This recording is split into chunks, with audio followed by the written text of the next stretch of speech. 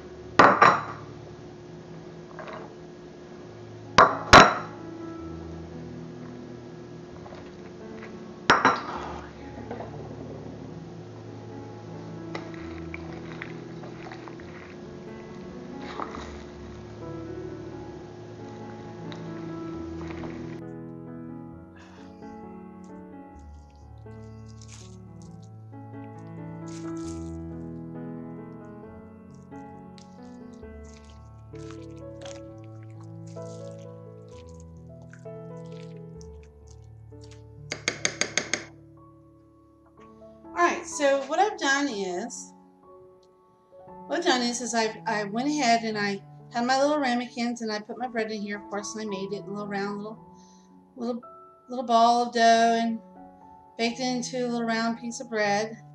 And then now I'm just going to hollow it out.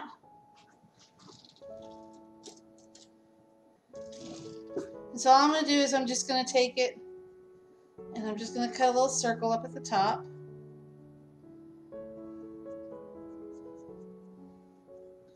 It might need to be a little bit bigger than that. And we're just going to clean the center out. We don't want to we don't want to ruin the bottom. So we just want to clean out the center and the sides. And we're going to save the bread. Because who doesn't want to eat bread?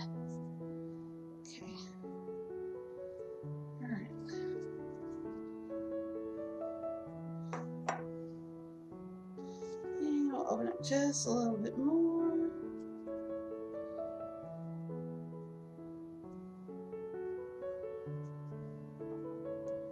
Okay. Perfect. I'm going to put the extra bread on the side because everybody loves dunking bread. Yeah. Okay, then I'm going to get the next one.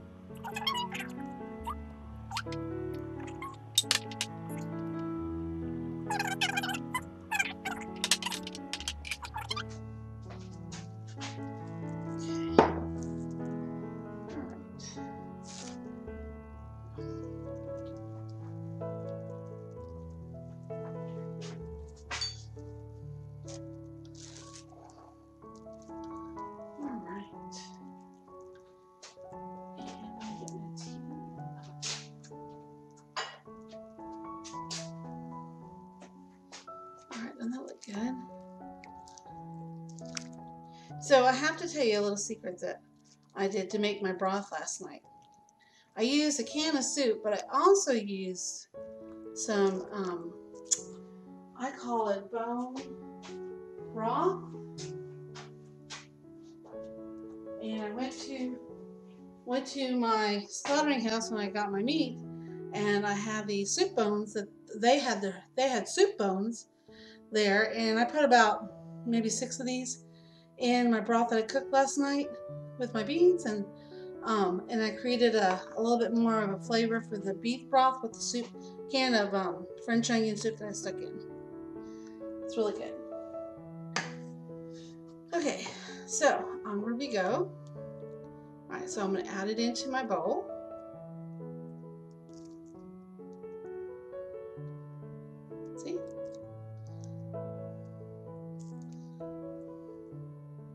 let's get done. Okay.